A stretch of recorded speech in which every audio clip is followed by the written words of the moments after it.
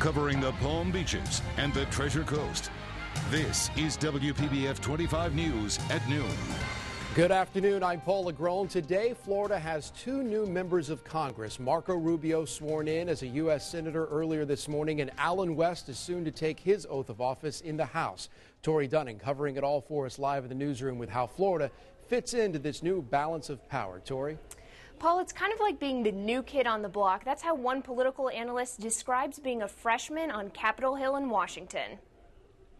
They start with the teeny offices, sometimes with the view of the freeway or the office building next door. No Capitol view to impress constituents at home. Freshman members of Congress are also walking into a divided Washington, with Republicans taking control of the House. The challenges of being new in our nation's capital.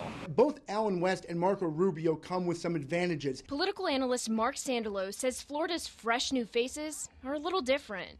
Both incoming Senator Marco Rubio and Congressman elect Allen West were popular with the most conservative voters in our state during the election.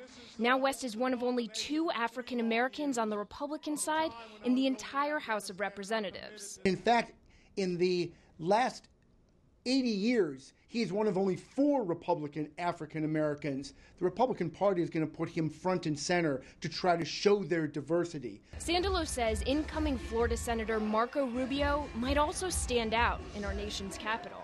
By virtue of his youth, his good looks, his Latino background, and his articulateness on, on issues that the Tea Party holds dear, no question that Marco Rubio is somebody who folks around the country will have heard of soon. But it won't be without challenges for these two. The Tea Party is popular perhaps where they got elected, but nationwide it is less embraced. What that means is they're going to be working in an environment where immediately some of their proposals are going to be knocked off the table.